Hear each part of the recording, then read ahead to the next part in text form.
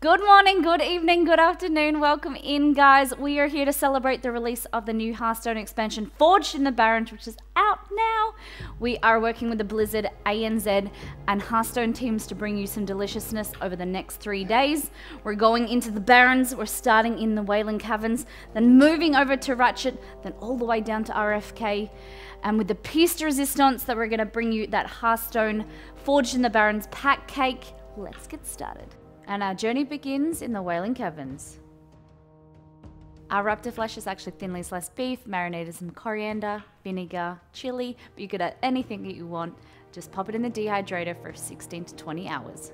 Haven't heard of me? You will.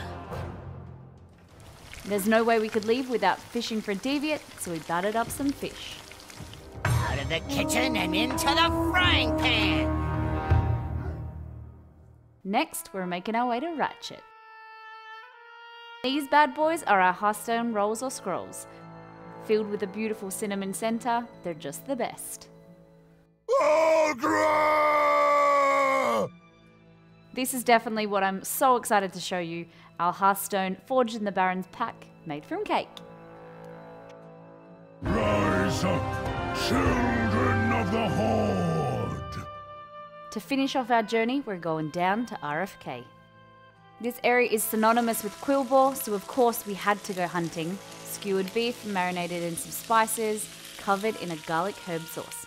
Pigmen running amok, not on my watch.